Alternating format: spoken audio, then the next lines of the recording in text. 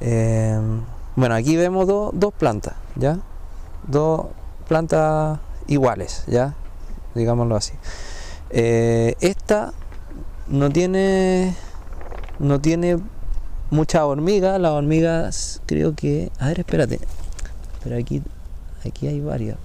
Espérate, aquí hay pulgones. Pero aquí los pulgones están ya.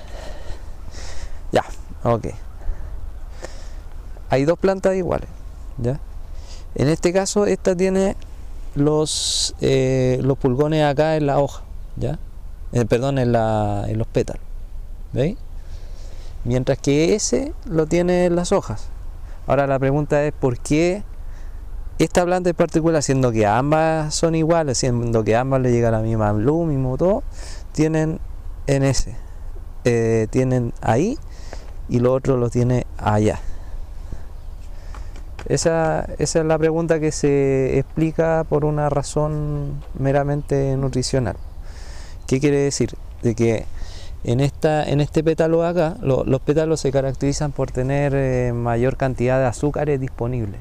O sea, si tú quieres obtener azúcares, lo puedes obtener a partir de los pétalos, generalmente. De las frutas también, pero de los pétalos. Y por eso que están ahí los insectos.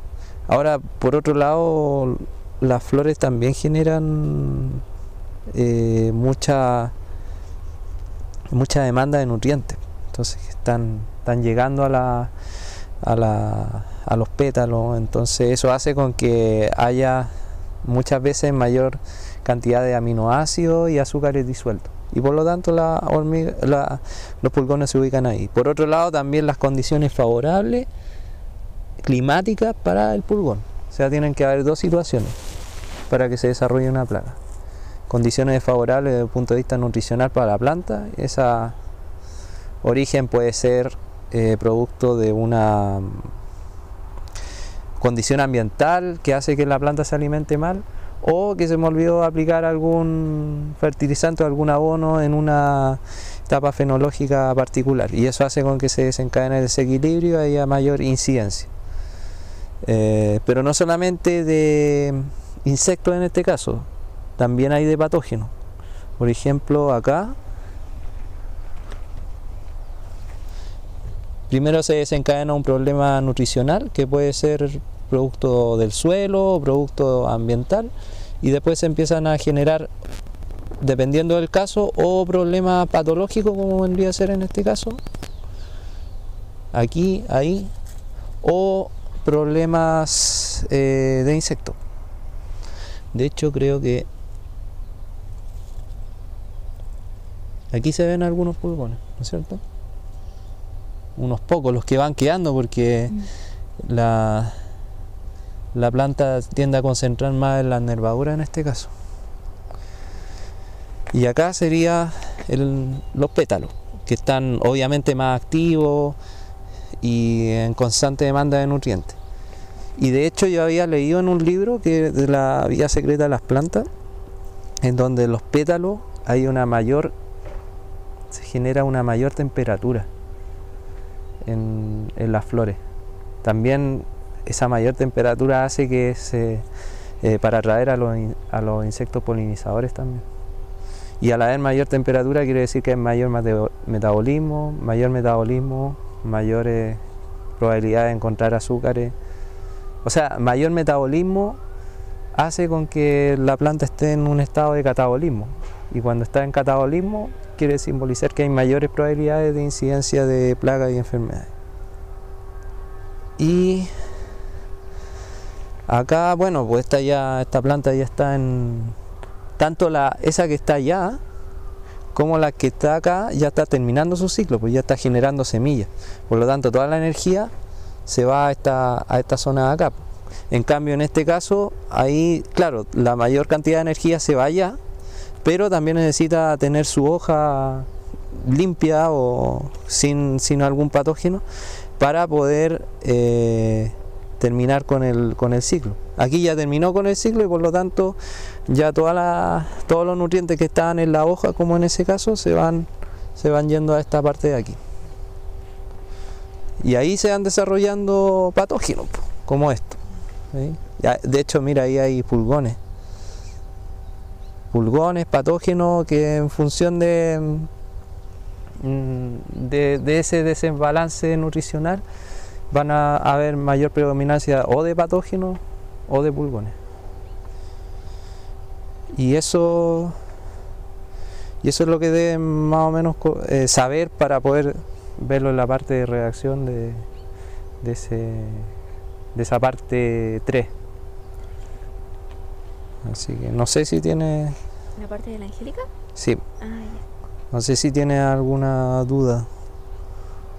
No. O sea, sí, quizás. Si sabe exactamente eh, qué es, qué patógeno. Ah, espérate, Muy difícil. para... No, no, eh, mira, generalmente, o sea, los patógenos, como en, e- en ese caso que está ahí, en este caso,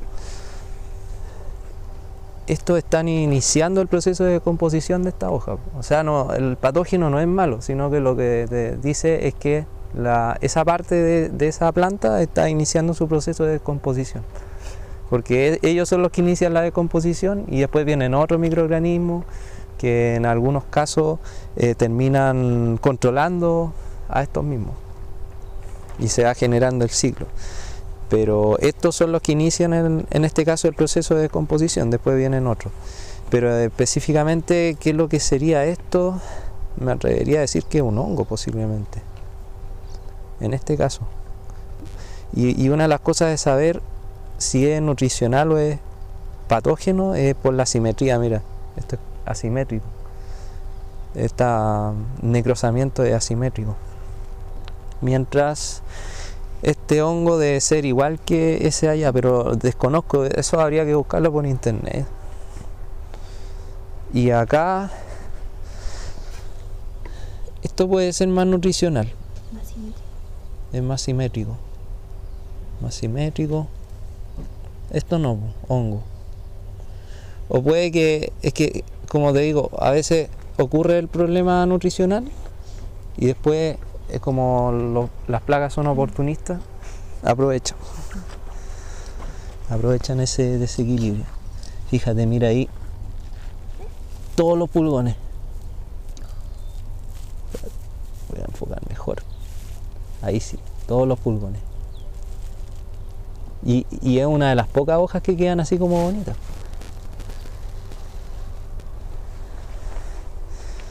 Así que aquí esa, esa hoja está liberando todos los nutrientes que en este caso nutren a estos pulgones a esta de aquí para formar la semilla. Y así es como se, se explica la parte, la relación nutricional o trofobiótica, que quiere decir trofo alimento, biosis vía. Explicación de la vía a través del alimento. Como pasa con, con nosotros también. Y eso. El enfoque. ¿Otra duda? No, creo que no.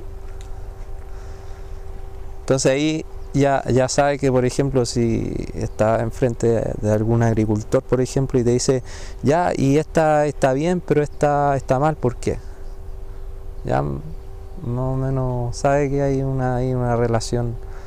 Claro, esa está más estresada porque no se ha alimentado bien. eh, ese aliment- no alimentarse bien puede ser producto de que no se ha aplicado, hay algo en el suelo que está generando ese problema o alguna condición ambiental particular. Pero generalmente mientras mejor nutrición, más ¿Y defensa. ¿Cómo las condiciones ambientales pueden afectar la nutrición? Dame una condición ambiental, mucho calor, no sé, sí, mucho por ejemplo, ya no sé, exceso de radiación. exceso de radiación.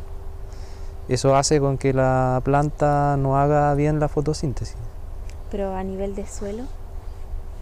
En relación con el suelo, es que todo va conectado, pues si no hay fotosíntesis, lo que va a ocasionar es que todos los nutrientes que va a ir absorbiendo del suelo no se van a metabolizar, no se van a formar enzimas, eh, enzimas eh, azúcares y por ende la planta va a entrar en un proceso de descomposición po, y ahí sus defensas bajan y vienen la- las plagas que en este caso podría llegar a ser un patógeno que in- inicie con el proceso de composición.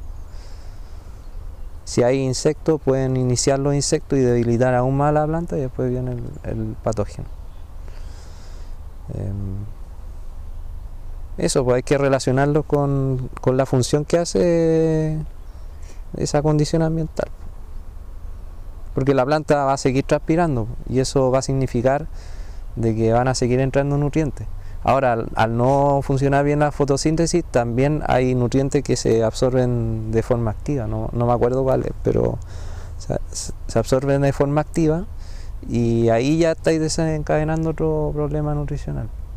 Entran algunos nutrientes, otros no, y eso hace con que te desbalancee. O es como por decir, si tenía una, una humedad relativa muy alta, el flujo de transpiración se va a reducir, ¿cierto? sí, Y hay muchos como elementos que se absorben a través de la transpiración, po, el Sí. flujo de agua.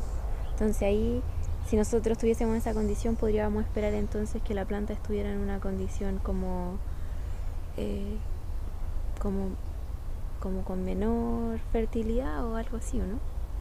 Porque no Sí, po, va y por a que- absorber todo lo que... Sí, pues y por eso que en parte tú puedes explicar la atrofobiosis bajo esa condición en particular con la aparición de los hongos. Porque los hongos eh, en esas condiciones favorables para ellos y desfavorables desde un punto de vista nutricional para la planta, porque ellas se alimentan todos los días, hacen con que se Claro. desencadene ese desbalance. Pero ponte tú, si hay exceso de radiación, no se para la fotosíntesis. ¿Qué se hace? Igual hay fotosíntesis, pero se satura. Sí, Entonces como que se empiezan a generar estrés oxidativo. sí, pues, especies reactivas de oxígeno. Y eso, Y eso hace con que la planta empiece a demandar más energía para crear enzimas que eviten ese problema. Y va a entrar en un estrés igual. Y va a ocupar de sus reservas. Y eso posiblemente también vaya a ocasionar que la planta esté... eh, que haya mayores azúcares y aminoácidos disponibles para fabricar enzimas que eviten ese estrés oxidativo. Pero al ser muchos, igual se tiende a desgastar la planta.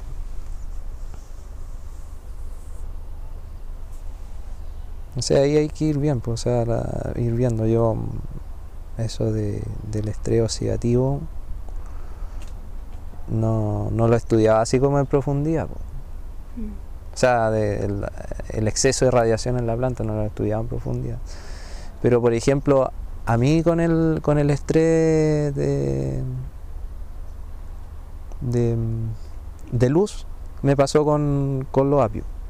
Por ejemplo, los apios, yo, eh, como hacía mucho, mucha luz en invierno, no era problema de la luz, o sea, no era problema de temperatura cuando hice los trasplantes de apio, sino era eh, el problema de la luz, que era mucha para los apios.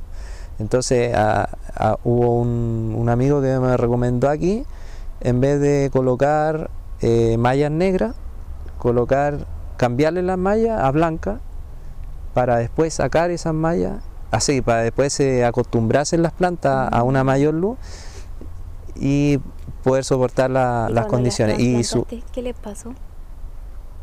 ¿Cómo viste que eh, estaban estresados? No, pues o sea, los primeros días tenéis que estar súper atentos. Y ahí colocáis, yo coloqué mallas negras para evitar eh, que hubiese mucha temperatura, porque habían como 50 grados dentro de eso. Y después me recomendaron eh, cambiarle a una malla blanca porque era de poca luz, a- de 20.000 de lux que se generaban a tener 120.000 de lux era un cambio también desde un punto de vista de luz muy, Drástico. muy drástico. Entonces eso genera foto inhibición y eso ocasionaba que las plantas se deshidrataran. En este caso, no sé, bajo otros casos pueden pasar otras cosas.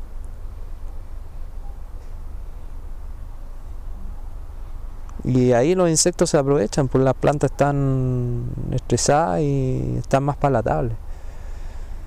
Como decía, en primer lugar la, la flor entra con su proceso de formación de semilla, entonces eh, en algún punto empiezan las hojas que están más viejas, que están allá abajo, empiezan a entregarle toda la energía, todo el, nitrógeno, fósforo, potasio y microelementos para la formación de, la semilla. Y cuando se va, cuando la, esta hoja, por ejemplo, está, cuando esa hoja de allá abajo está en esta situación, lo que ocurría es que, mira, aquí hay oidio, eso, eso sí te puedo decir, eso es oidio. Em, ah, cuando la planta está en esta condición así, entonces eh, ese desequilibrio dio las condiciones para que el hongo en este caso se desarrollara.